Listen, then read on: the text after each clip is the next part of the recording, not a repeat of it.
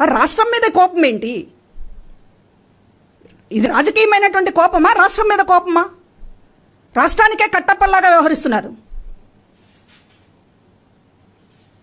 అసలు ఎక్కడ దేశంలో ఎక్కడ లేని సమస్య ఏపీలో ఉందని అదృశ్యం మీద మహిళల అదృశ్యం మీద డీజీపీ చెప్తా ఉన్నారు వివరణిస్తా ఉన్నారు. వెళ్ళినటువంటి వాళ్ళల్లో డెబ్బై డెబ్బై ఎనిమిది శాతం మంది తిరిగి వచ్చారు అనేటటువంటి లెక్కలు చెప్తున్నప్పటికీ కూడా మీరు ఉద్దేశపూర్వకంగా ఎక్కడా జరగనటువంటి అరాచకం ఏపీలో జరుగుతుందనేటటువంటిది పదే పదే పదే మాట్లాడుతూ ఉన్నారు. ఇది ఇంటెన్షనల్గా ఈ రాష్ట్రాన్ని ఈ రాష్ట్ర ప్రజలని వాలంటరీ వ్యవస్థని పనిచేస్తున్నటువంటి అన్ని వ్యవస్థల మీద ఒక దాడి అనేటటువంటిది చేస్తూ ఉన్నారు.